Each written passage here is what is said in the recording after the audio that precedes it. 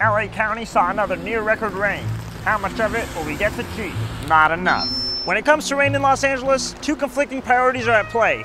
Get water out of the city as fast as possible and hold on to every last drop.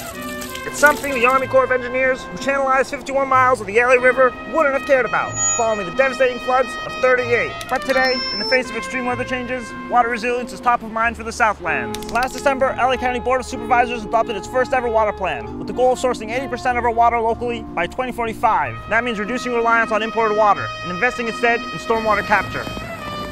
Enter the Safe Clean Water Program, which passed in 2018 as Measure W. It'll take an impermeable concrete-lined city like LA set up green spaces, where stormwater can seep through the ground to replenish our underground aquifers. The program has a target of 300,000 acre-feet by 2045, but there are concerns of its so far slow and piecemeal implementation. If achieved, it will represent nearly 50% of the county's local water goals. As of December, 126 stormwater infrastructure projects have been funded, but only a dozen have been completed. But back to the question, how much of the storm did we keep? According to the Department of Public Works, we captured about 11,200 acre feet. That's about 3.6 billion gallons of water. The first two days of the storm dropped nearly half of the region's average seasonal rains, but the amount we collected was only a fraction of our average annual intake. My colleague Hayley Smith reports that about 80% of the rain was lost to the sea. Someone out there is laughing at us.